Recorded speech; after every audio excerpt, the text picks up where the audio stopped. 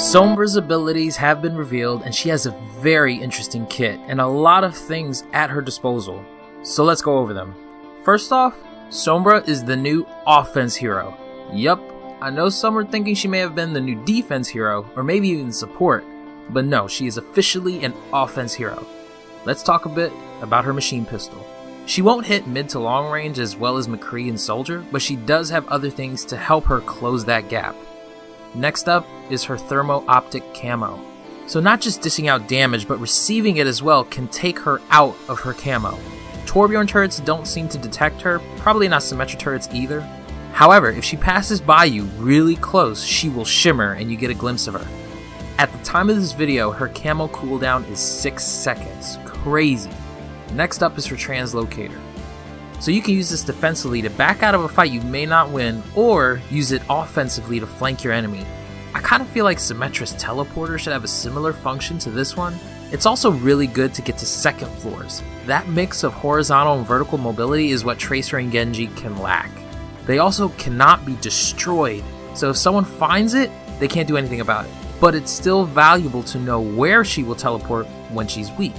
At the time of this video, once thrown, you have 15 seconds to use this translocator, and it also has a cooldown of 6 seconds.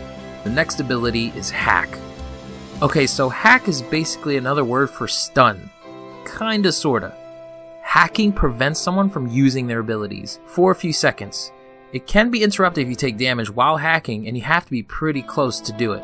But, can you imagine preventing a Genji Dragon Blade that's nano boosted, or a Reaper Beyblade? I really want to test out the limits of this ability because this could be borderline OP. You can also hack health packs that will make them regenerate faster while the enemy can't pick them up at all. The enemy will know when a health pack is hacked though. There will be an icon just above it. And finally, her ultimate, EMP. This is one scary sounding ultimate.